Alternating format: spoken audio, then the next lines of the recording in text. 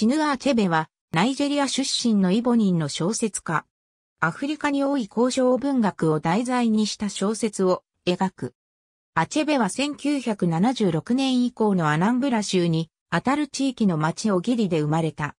そして当時ロンドン大学のカレッジであった現在のイバダン大学で英語と歴史、神学を学んだ。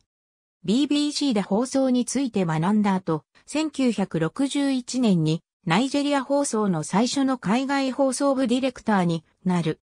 ビアフラ戦争時にはビアフラ共和国の大使を務めた。この時の経験から難民の母と子と題した詩を書いた。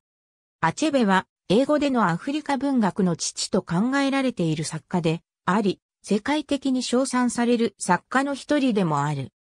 1958年に発表した崩れゆく絆は世界で1000万部以上売れ、50以上の言語に訳され、ノルウェー、イギリス、米国、アフリカなどで小説百選の一つに選ばれた。アチェベは、あるアフリカのイメージコンラッドの闇の奥に見る人種差別と題した批評を発表し、世界的な議論を呼び、この文章がディベートの題材として用いられるようになった。アチェベは、ジョゼフ・コンラッドの帝国主義を描いた有名な小説が、アフリカの背景や人物を歪めて、非人間化し、人種差別的な文脈や恋を潜ませていると断じた。彼は闇の奥の再評価についての議論で非人間化された人々を偉大な地位につけるべきでないとする前提で書かれたこの植民地主義の文章に与えられてきた神聖な地位を拒絶した。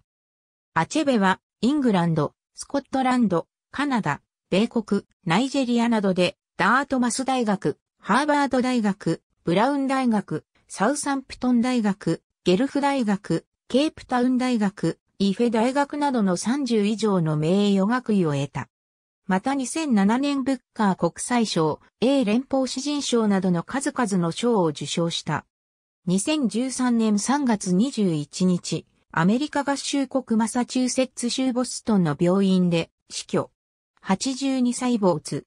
小説短編集評論詩集チヌアアチェベ。三死去代表作。崩れゆく絆朝日新聞2013年3月23日。ありがとうございます。